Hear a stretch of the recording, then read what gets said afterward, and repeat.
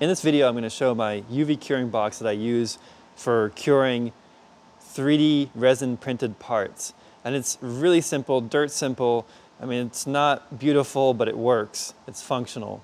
So this started off life as a just a Tupperware Rubbermaid container of sorts. Um, has some clips on the ends, but you can use any container that you want of the right size that you that you would like. And the first step I did was I cut a hole in the lid and attached this 20 watt 405 nanometer UV LED on here. And specifically this UV LED, I purchased it from Peel Peopoly and it's a 405 nanometer. And you can use any 405 nanometer LED that you find. You could use a different style LED, but it just has to be 400, about 405 nanometer to do the proper curing.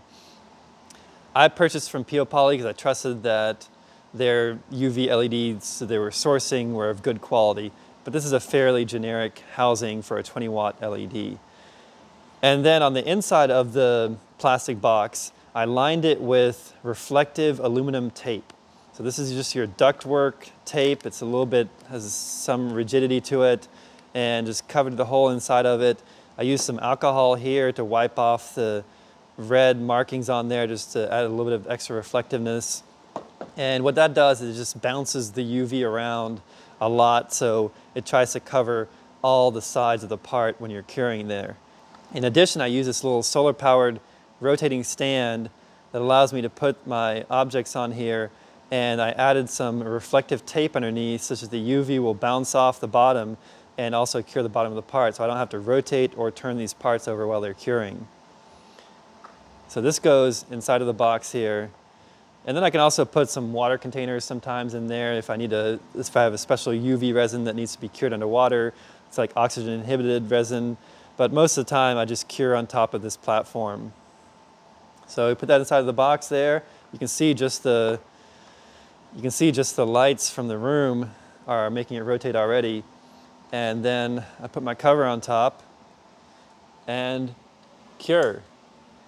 You can see that where the UV is only escaping from where there's spaces between the tape. So if you really don't want any UV to escape, you can make sure that, every, that the tape is all um, overlapping each other. And here you'll see like how fast that spins with the UV. So it spins a lot faster. And you can see the reflection on, on the bottom on top of the solar turntable where it's gonna cure the bottom of the part too. That's it, and I usually run that for five, ten minutes or so. I don't have a timer on it. I could set a, I could set a timer on this to, to, to just run it for a set period of time. That would actually be better so I don't overcure parts. But I generally just set it in here and then come back a few minutes later and take, out, take the parts out.